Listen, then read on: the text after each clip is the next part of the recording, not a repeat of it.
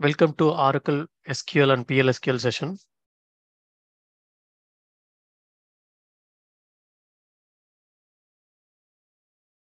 This is one more example of functions.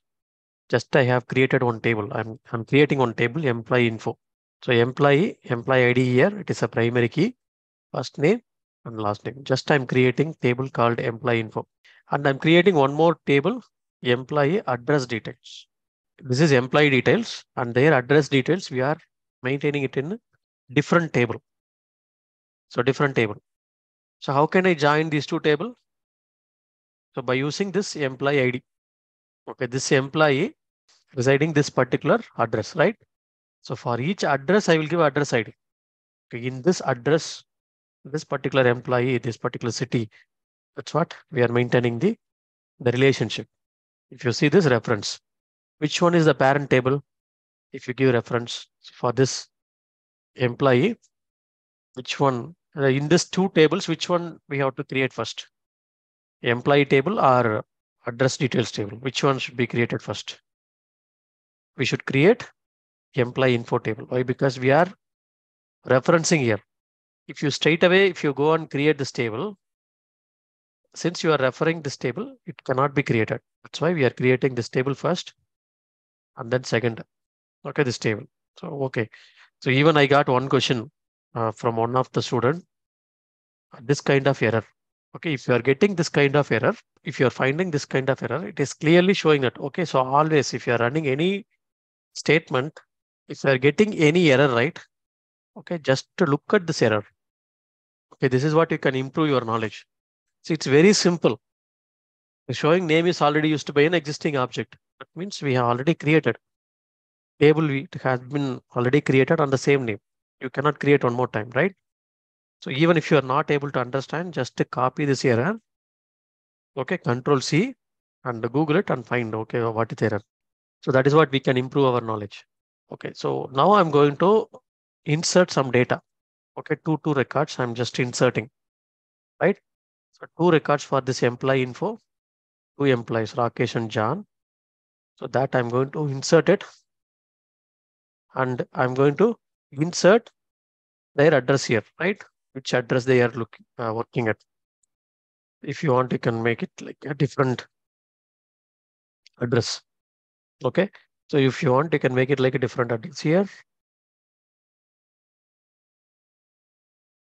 So I'm just uh, two rows inserted. I will insert another two rows. I'm just committing it. So finally we can commit it, no issues. And I'll go for some functions. You see this, what is the function will do? What is the function will do? Creating a function, get complete address. Okay, so to get the complete address, I'm creating the function. What is this? Create or replace. Okay, I got one question related to this one. How to use alter procedure statement. Alter procedure means you want to alter the definitions. Alter the definition, you have to use replace. See, normally alter alter function, we will not do it. We will go for create or replace. So you have already created. But again, if you're, if you want to modify it, that's why we are using or replace. Okay, so create or replace function, function name, we are passing the employee ID as the input parameter. Even if you don't mention here input parameter, give you error or it will it will execute. See, even if you don't mention here in, by default it will be it will be considered as input parameter. Okay. So remember this. Sometimes they will not give any input parameter here in here. If you are making function or procedure something like this, if you are if they are not mentioning anything here, you can assume that okay, it's the in in parameter. Get complete address. Okay, address is varchar, right? So just why that that is the reason I'm returning this varchar 2. No need to mention the length of the varchar 2. Just you can mention return varchar 2. And within this is and begin, it is a variable. So variable I'm getting employee details. It is a varchar 2 of 130 characters. I'm just mentioning. Okay. Begin. So begin and end. Within the begin and end, I'm using one select statement. That's it. Okay. Select all the details. Okay, name hyphen. It will take first name, right? EMP dot first name. What is EMP? EMP is nothing but employee info. We here we are making like alias name, right? So employee info. What is address? Address is nothing but employee address details. See, there is no table like address. There is no table like EMP. Whatever this is alias name, okay? Table alias. We have seen column alias, right? But this is called a table alias. Whenever you are looking at any join queries, that's what you have to interpret. Okay, first name you are getting, then last name, city, state, country, and zip code. The employee ID is there in different table. You are passing the employee ID. Okay, it will get joined these two values. Okay, then you will get employee address as the output, right? Employee details. Employee details is nothing but the concatenation of all the values, right? All the values. So if you pass this employee ID here, you will get concatenation of all the values and it will be stored as the employee details. So 130 characters, 130 characters, even you can go for 1000 characters, no issues. And if you see this, how many characters maximum I can use? Varchar 2, 4000 character, correct. If, if I have more than 4000 character, how can I handle it? Log, okay, your log, you want to send one particular log into one particular column. Job error log. You have to, okay, this is a job ID. This job has been executed. Status equal to failed. If the status equal to fail, you have to put the error log. Status equal to success, then put here the success log. That should be put in one particular column. So how can I handle it? If it is more than 4000 characters, you have to use LOB, large object. Okay, so this is what we are selecting here and we are storing it into this temporary variable, right? This variable. After that, so select statement into this and we are returning it finally. So you can use, okay, so if I'm not going to use end get complete address, will it fail or it will not fail? So what is this? Why we have to use end this one? Is it mandatory or without this also I can run? So without this also you can run. So why we are writing this way, right? Just we are mentioning, okay, here we are starting here, begin, and we are ending this. The end statement, we may have so many end statement, right? Uh, end if, end loop. So all this you'll have, case statement, all the end will have. So we may not know if you are going to write a big query, right? Big PLSQL code, we may not know which end it, it is. So if you are using lot of if statement, case statement, and procedures and everything inside the package, you are using a lot of end statement, then we may not know. So which one it is getting in. That's why I'm using end here. Okay. So even if you don't use, yes, it will run. So I'm just compiling it. So compile on time. So get complete address compiled. So how can I execute? See, if you have employee ID in one particular table, and this is a table, right? Say for an example, select start from employee info. Okay, employee info. This is a table, right? This table I'm just executing. So what is the column you will get? You'll get first name.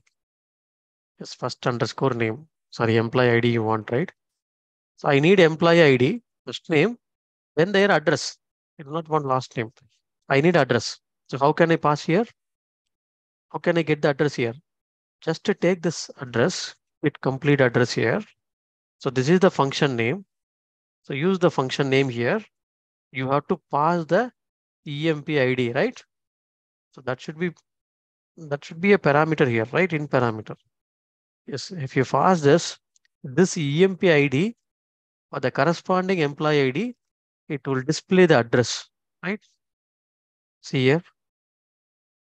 See how you are uh, displaying it. From where you are getting this, this particular details. You are running the statement from employee info.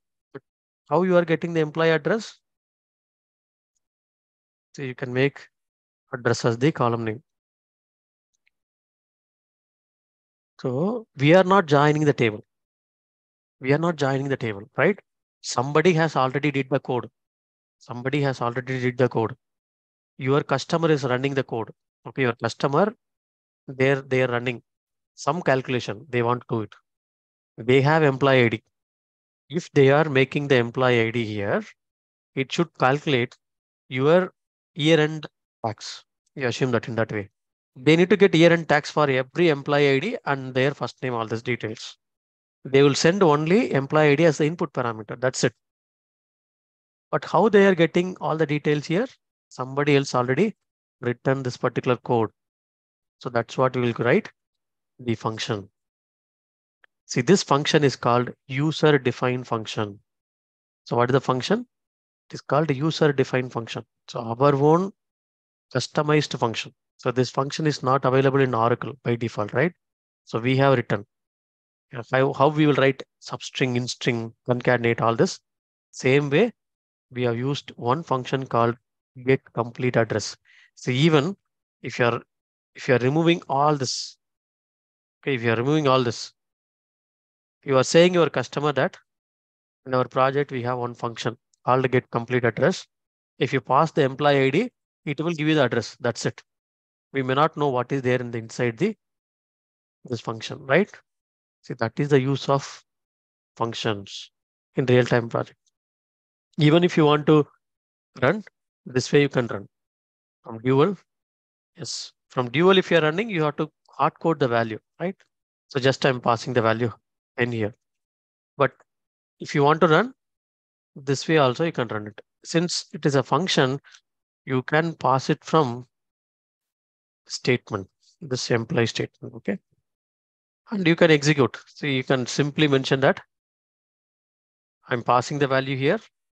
So this way also execute DBMS output, you get complete address of 20. So I'm just passing this, right? So it will give you complete address of the 20th employee. This way also I can execute. Same way we are having person, person salary details.